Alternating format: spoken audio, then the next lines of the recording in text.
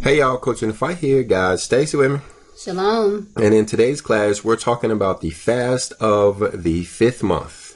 All right, the fast of the fifth month. The fast of the fifth month. Turns out there are actually four fasts, and we're going to briefly mention the other three. But this class is particularly about the fast of the fifth month because this date is actually coming up soon. Right. Mm-hmm. It actually falls on August the 19th in the year 2021. Right. And so we wanted to hurry up and get this class out talking about fasting. And we also want to talk about the prophecies around these days. Right. Mm-hmm. So we'll be looking in the book of Daniel. We'll be looking um, in the book of Jeremiah when we talk about the prophecies. And we'll start off talking about the fasting where we'll touch on Isaiah and the shepherd of Hermas. And Lord willing, we'll even mention your tea company. Sounds good. We'll see how that all works out. You know, we're still kind of new at all of that stuff. But anyway, we're looking over here in Zechariah chapter 8 and verse 19. If you would read that. Thus said the Lord of hosts, the fast of the fourth month, and the fast of the fifth, and the fast of the seventh, and the fast of the tenth, shall be to the house of Judah joy and gladness, and cheerful feast. Therefore love the truth and peace. So this verse is a little bit strange because it's talking about fasting and it's also talking about joy. Mm-hmm. And it's telling us that these fast days will be days of joy in the future. Yeah, because usually when we think of fast, we think of um, being in a solemn state, Yeah. um, being, you know, Afflicting your soul yeah, kind of deal. withdrawn away from people and things like that. Yeah. Yeah. And matter of fact, let's jump over there and let's look at that. We said we were going to talk about fasting, and there's a lot of people who are asking about fasting. So, what we want to do now is look at some verses on fasting to maybe give people an idea of what a true fast looks like. Yeah, because um, it's different than what we have grown up and have been taught to believe. Yeah, we were always taught that abstaining from food was a true fast. And the only fast. and the only fast but turns out that, that kind of fast even though it's beneficial for your body Right. and maybe even your mind it does nothing for your spirit and or your righteousness yeah. and we're going to learn that here matter of fact let's go over to isaiah chapter 58 Okay.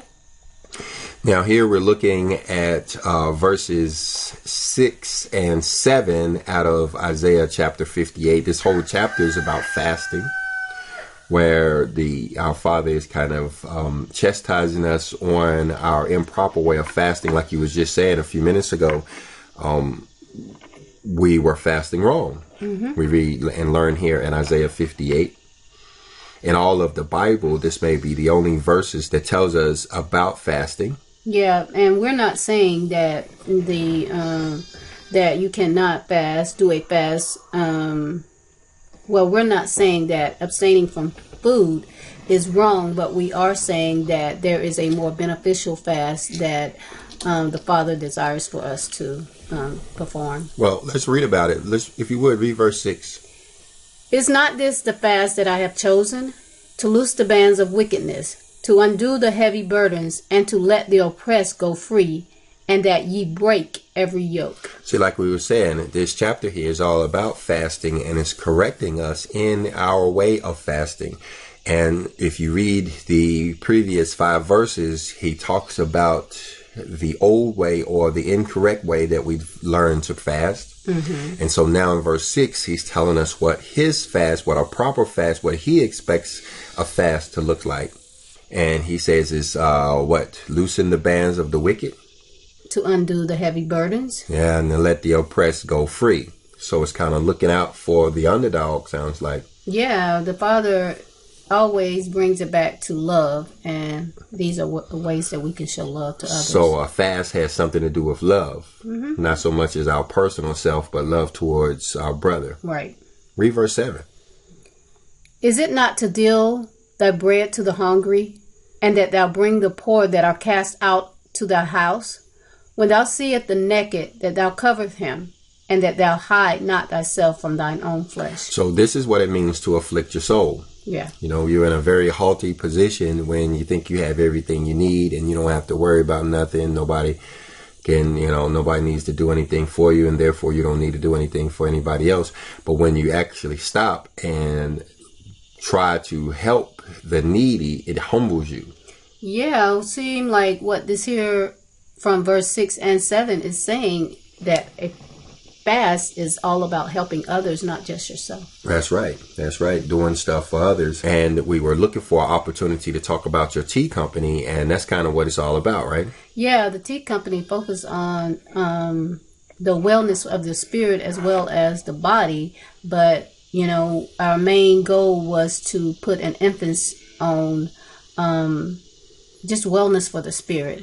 Okay, so so as a way of helping your brother, you're not only educating them on these herbs that can be used to heal and treat certain ailments, Right. but you're also helping provide them with those herbs, Yeah. hmm shipping them to them right to their door. Yeah. But we'll talk about that a little more as we go. Okay.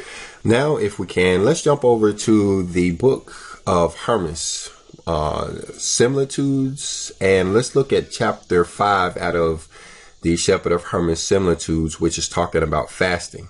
Okay.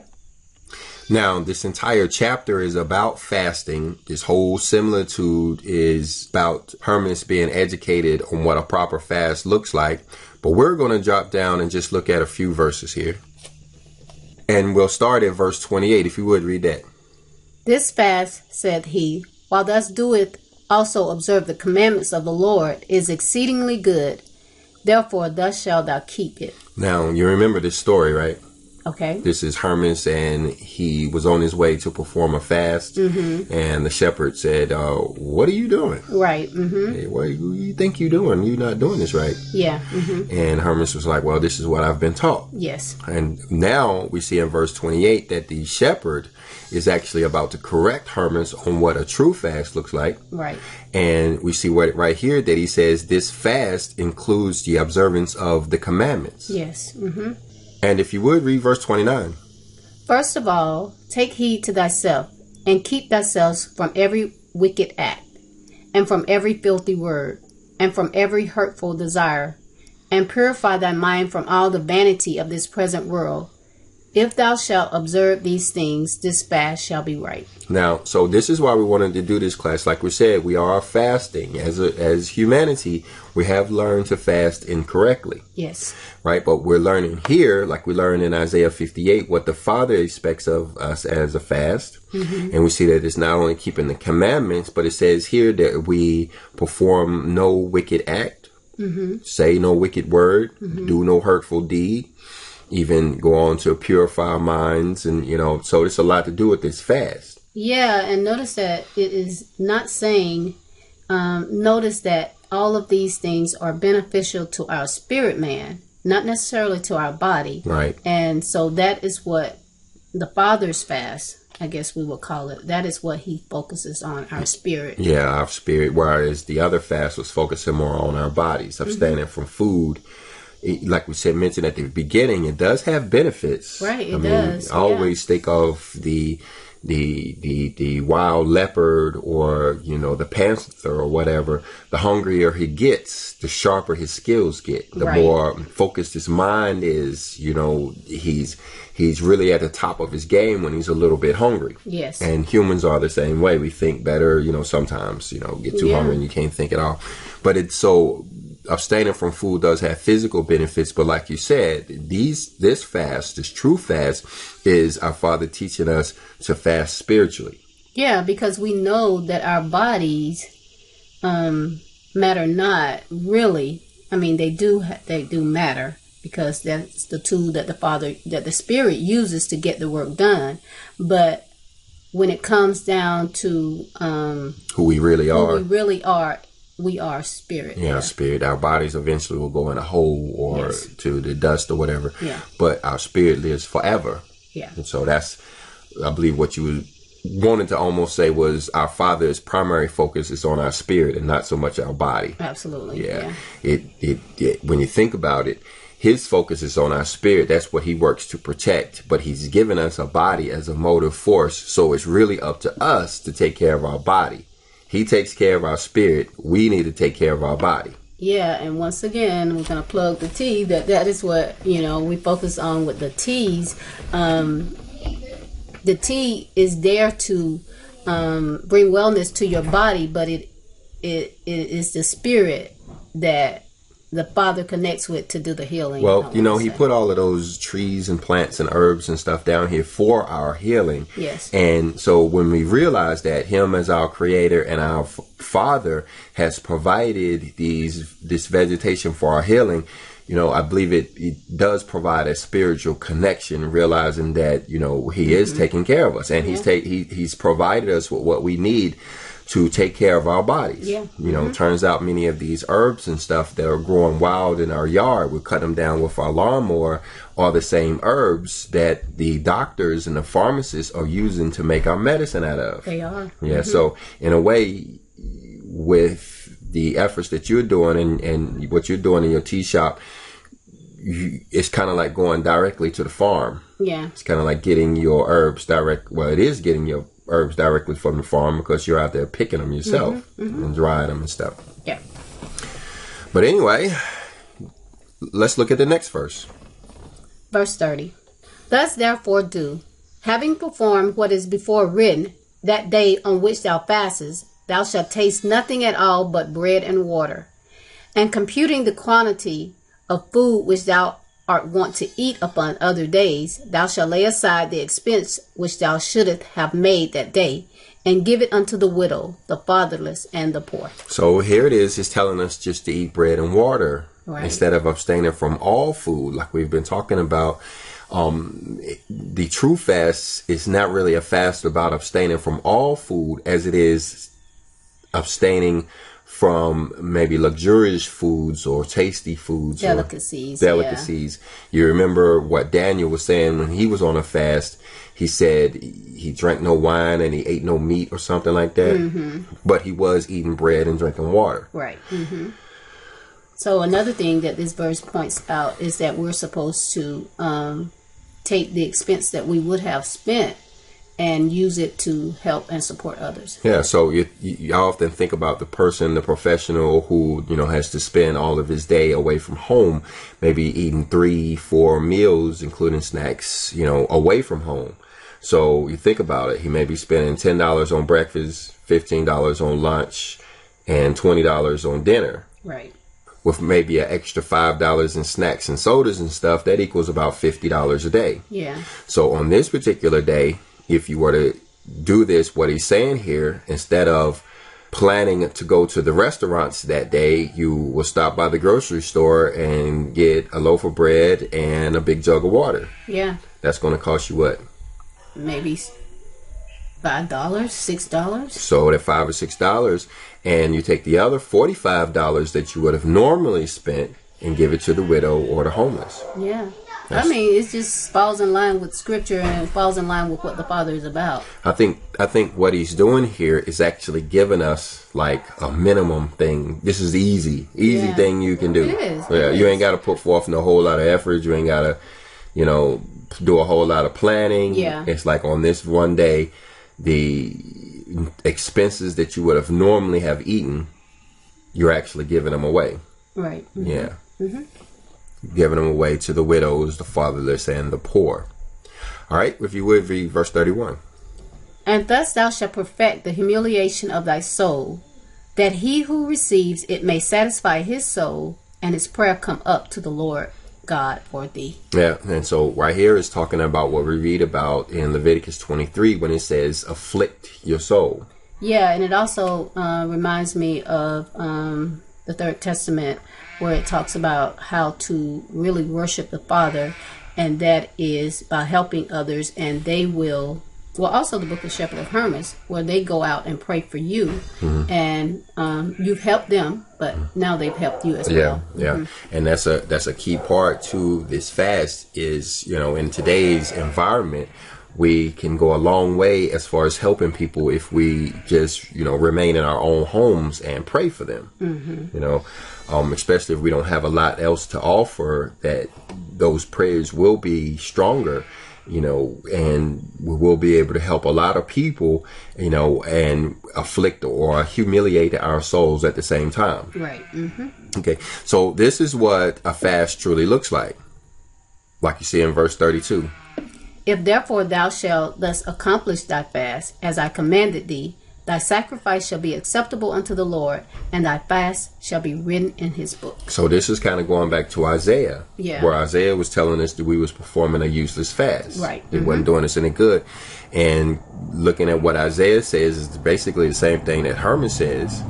And that is that if we perform the fast in this manner, then it will be acceptable unto the Lord. Yeah. You know, and like we'll say for the last time in summary, this fast is just putting yourself in a position where you are not partaking in the luxuries that you're used to every day. Mm-hmm. You're kind of just eating bread and water instead of steak and potatoes. Right. And you are using that extra money to give to the widows, the poor, or the homeless, or the fatherless. And then you're actually doing stuff for people, including prayer for people and any other opportunities that the Lord provides for us to help one another are all included in this so-called acceptable fast. Yeah, because you're not only um, humiliating your soul uh, by just eating bread and water. Yeah, I mean, but you're also helping someone else. yeah, Yeah. Just, just drinking a lot, just drinking water will be humiliation for a lot of people. Mm-hmm. but anyway, That's true. while we're switching gears here, you want to go ahead and tell them the email address to contact you. Yeah, to contact me, um, you can email me at stacy at thebombandtheblend.com or the bomb and the blend at gmail.com. The bomb and the blend at gmail.com if they want any information or you want to actually start getting something, you may be able to send them something while you build the tea shop. Yeah, yeah, I would love to. Um, I would love to be able to put into your hands some of these herbs that the Father has um, given us.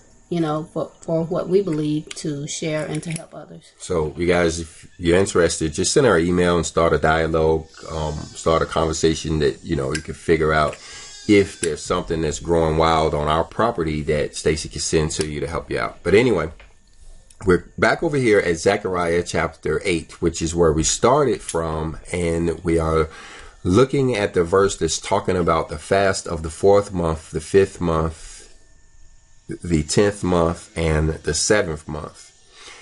And in this part of the video, what we want to do is look at the prophecies around this day. All right. The question is Is it possible that this 10th day of the fifth month, is it possible that that day could be associated with the so called Great Awakening or the Rapture or whatever you want to call it? Some of these special end time events that we're waiting for. Is it possible that we're waiting on August the 19th, 2021 for these events to take place? All right. Let's see.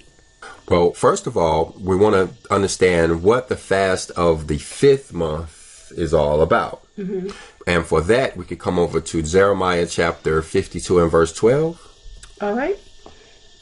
Now, in the fifth month, in the tenth day of the month, which was the nineteenth day of Nebuchadnezzar, king of Babylon, came Nebuzaradan, captain of the guard, which served the king of Babylon, into Jerusalem. So here it is, the 10th day of the fifth month. This is the day that we are remembering when we do the fast of the fifth month.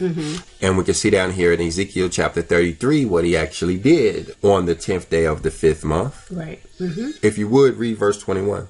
And it came to pass in the twelfth year of our captivity, in the tenth month, in the fifth day of the month, that one that had escaped out of Jerusalem came unto me, saying, The city is smitten. So this is what the fast is all about. It was on the 10th day of the fifth month that they actually burned Jerusalem down. Right. They destroyed the walls, they burned down Solomon's temple, and carried the people into Babylon, Into captivity. into right. captivity. Like, absolutely.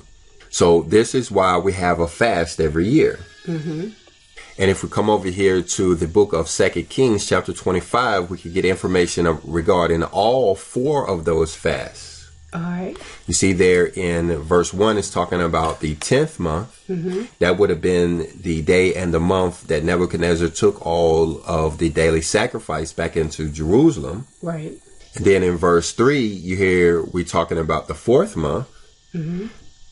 This would have actually been 11 years later when he started besieging Jerusalem, had actually started starving them out. And it was in the fourth month when the famine prevailed All right. when the people just were so hungry they couldn't do anything but give up. And then in verse 8, we hear about the fifth month, mm-hmm. which is like we said, they burned the temple down, like you read about in verse 9 and 10. Right. And then in verse 25, you hear about the seventh month, Okay. which is when it seems like the people are acquiescing to the Babylonians' rule or whatever. Yeah. So all four fasts are mentioned in this one chapter. Okay, well, I have a question. Okay, so some might ask if all of this bad stuff is happening, um, seem like it would be centered more so around us afflicting our bodies, going without food because we're sad, we're grieved, and all this other stuff. Um, seem like it would be more so about that. Yeah, well, I guess that's why you had both. And, you know, even to this day, you have many people who will do a physical fast, abstaining from food. Um, and, and, you know, in remembrance of this day. But, you know, what we wanted to do, you know, was not take away from, you know, the fast, you know, that, you know, somebody might do to help their physical body.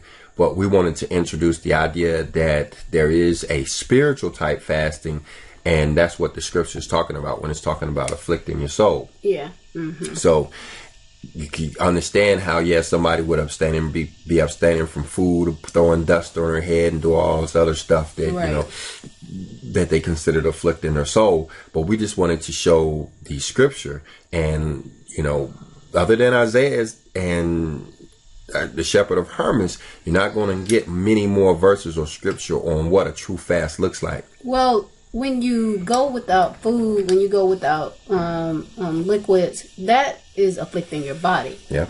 It is not afflicting, your your soul. soul, you and go. that is what the Father needs for us to do. That's what He needs for. Well, that's what He desires for us to do to afflict our soul. Yeah, because the um, the earth will be inherited by the humble. So he needs some humble people around, or else. Right. Mhm. Now it's also interesting that all of these events are focused around the temple in Jerusalem. Yeah, that is true. All right, well, let's bring it over to Daniel and chapter 12 and let's show a prophecy that's related to these days of fasting. Daniel chapter twelve. If you would read verse 11. And from the time that the daily sacrifice shall be taken away, and the abomination that maketh desolate set up, there shall be a thousand two hundred and ninety days. So this right here is a prophecy from Daniel and or prophecy given to Daniel and it's talking about the daily sacrifice being taken away. And that is what Nebuchadnezzar did when he um, besieged Jerusalem, right? Yes, absolutely. We can see over in Ezekiel chapter 24 verses 1 and 2 that it was in the 10th day of the 10th month that the daily sacrifice was taken away. So what Daniel's prophecy is telling us is from that 10th day of the 10th month back there with King and Nebuchadnezzar, there will be 1,290 days until we get the abomination of desolation. Okay. And then from the abomination of desolation, verse 12 says that if we proceed another 1,335 days into the future, we'll get a blessing. Yeah. And we've covered this in many, many classes. Yeah. So we'll spare them the math on this. But what I think is important to this understanding is that we're seeing a connection between these days of fasting and this blessing that we're reading about in verse 12. Mm-hmm. In fact, that blessing is what I think Zechariah was talking about when he was saying that, that these days of fasting would be days of joy, gladness, and cheerful feasts. I agree. Yeah. So when we started off this conversation, we were asking, is it possible that this fast of the fifth month could be somehow tied to the Great Awakening or the Rapture or something like that? Mm-hmm. Well, I think when we take all of these verses into account, we understand that the 10th day of the fifth month or the fast of the fifth month is an extremely important time. And it's understandable that so many people focus on this day every year when they're talking about these events that are supposed to take place in the end times. Mm-hmm. So it's very likely that we could see one of these events, like a Great Awakening, happen on the 10th of Av. Right. But I have to say that I don't believe that any of those events will happen in the year 2021 only because of the timing of the fast. Mm-hmm. The fast of the 10th month, the events that happened in the 10th month happened before the events that happened in the 5th month. Okay. Let me make sure I'm making sense here. So you have four fasts. Yes. You have the fast in the fourth month, mm-hmm. the fifth month, the seventh month, and the tenth month. Yeah. We know that these fasts will become days of joy. Yes. So there is coming a day when the 10th of Av will be a day of joy. Mm-hmm. And when we're looking at Daniel, we can get some timing of when this event will actually take place based on chapter 12 prophecy. Okay. The thing about it, his prophecy is not based on the fast of the fifth month, but it's based on the fast of the tenth month. Mm-hmm. So I believe the fast of the tenth month has to come first. Okay. You have to have some type of fulfillment of the prophecy of Daniel chapter 12 and its relationship to taking away the daily sacrifice has to come before we see something happen in the fourth month, which would be next, and then the fifth month, and then finally in the seventh month. Yeah, I agree. So, a long way of saying, do I think that the Great Awakening or the rapture will happen in the 10th day of Av in the year 2021? I don't think so. I think That's a couple of days from now. that's a couple of days from now, but I think we have at least a year to see the fulfillment of the prophecies related to the fast of the fifth month. Mm. Okay. It's at least a year away. Now, the reason why I say that is because the daily sacrifice was taken away in the year 605 BC. And so when you look at Daniel chapter 12 and you add everything up, it turns out to be the year 2021 AD. So this is why there's a lot of excitement around the 10th day of Av in the year 2021 because it appears as though Daniel's numbers add up to 2021. Mm-hmm. But like we were talking about a few minutes ago, the fast of the 10th month should come before the fast of the 5th month. So it is not the 10th day of the 5th month that we're waiting for. It's actually the 10th day of the 10th month that we're waiting for. Okay. So the 10th of Av 2021 may be just a year too early, Okay. Mhm. but it's still important nonetheless. Right. So now we'll just focus on learning how to fast and maybe even doing a dry run in the year 2021, hoping that this dress rehearsal will pay off for us in the year 2022 when the fast of the fifth month becomes days of joy and a cheerful feast. Yeah, preparation. preparation. That's what it's all about. Many of these holy days are all about, um, like I said, a dress rehearsal. Right. hmm So I know some people are disappointed. Everybody wants everything to happen now, but at least you get the information about the fast out of this video. Yeah. Um. Would you say disappointed?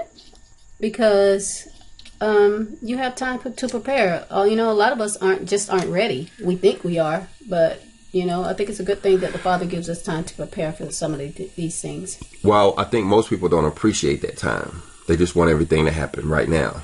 They don't understand that our spiritual growth takes time. Mm-hmm. And so many people, when they first hear about the Father, the Lord, the Bible, the Scripture, the Rapture, the Great Awakening, they're ready for it to happen today. Yeah. Not understanding that they really need to be focusing on their restitution, Yep. which fasting goes a long way to paying restitution. Yeah. You know, so we do believe that we're ready and that let's get it going now. where everybody wants to But go it right takes now. time. It takes time. It takes time. It takes time and work. to learn how to live within the law. You Yes. think the disciples walked with the Messiah for three and a half years, and that's what they were doing, learning how Yeah. to live according to the law. And us, we are in no way, you know, good a shape as the disciples were when they showed up, when when they started off. So we may need a little more work than they do, Even though we think we are ready. even though we think we are ready. Um, so you got the information about the fasting, and you also got information about your tea company. Yeah. Mm-hmm. Anything else you want to say about that before we close out? Um, I guess I just want to say that um, you know, we'll we'll soon be um, offering samples. Yeah, I was thinking it'd be a good idea, you know, especially when you're up and trying to get everything established. You know, if you had something like a drying table that you wanted to uh, try to build or another greenhouse or something you would need to collect, harvest, dry, and ship all of these tea leaves out, you know, you may do something like a little sample offering, you know, where people can make donations and you send them a, a sample pack. Yeah, I would love to be able to do that. Um, like I, like I said before, um, one of our purposes is just to be able to help the body, you know, of the Messiah, um, because we believe that it's important for our bodies to be well in order for our spirit to do the work that is called um, here to do. I mean, you know, though we would like to say that, you know, we can just go out and do it, we need these bodies. Yeah, and these bodies have to be moving, they have to be well. And, you know, we all know that when we're sick, we really don't want to be out ministering or helping other people. We just want to be laying around taking care of our own self. And so our bodies have to stay well. Yeah. And these, those are our motive force um, our tools that our Father has provided for us to get His work done that we need to do down here on the earth. Yeah, know? and we so. believe that by you know, well, the Father tells us that the leaves, the herbs are a medicine, and we just want to help. Yeah. Just want to be able to be a blessing. All right. Well, you guys uh, send Stacy an email so you guys can work together and get it all worked out. Um, how you can receive sample packs or help out her tea shop or whatever is just up and growing. But in the meantime, uh, check out Isaiah chapter 58 and Hermas uh, Similitude 5 um, as we prepare for the fast of the fifth month. And it will be interesting for you guys to also let us know if you guys will be um, performing this fast. Yeah, what what would you do, uh, or what would you not do as you remember this fast? Leave that in the comments section, and if you have any other questions or anything, put them in the comments section as well. And if you would, go ahead and hit the like button and that subscribe button, so you can get classes when we put them out in the future. Mm-hmm. And with that, we want to say shalom. Shalom.